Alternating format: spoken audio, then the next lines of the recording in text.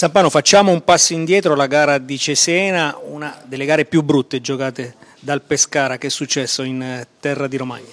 Eh, abbiamo fatto una, comunque una brutta partita, non bisogna negarlo.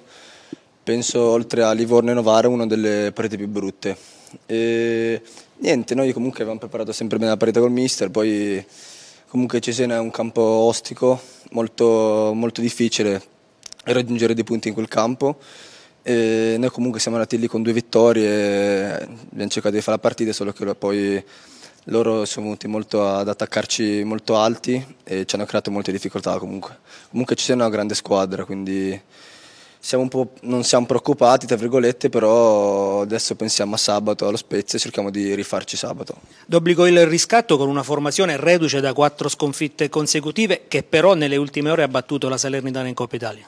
Eh, ho visto 2-0 sì, ehm, lo Spezia è una grande squadra, anche se adesso sta facendo pochi punti, tra virgolette, e dobbiamo stare attenti, adesso vedremo dei video col mister, stiamo preparando già la partita con loro 4-4-2 e niente, noi andiamo in campo più che altro adesso che giochiamo in casa, anche per eh, raggiungere la vittoria, anche per i tifosi che sono venuti in gran numero a Cesena. Quanto vi preoccupa e se vi preoccupa lo stato di forma della formazione Ligure che però ha cambiato allenatore?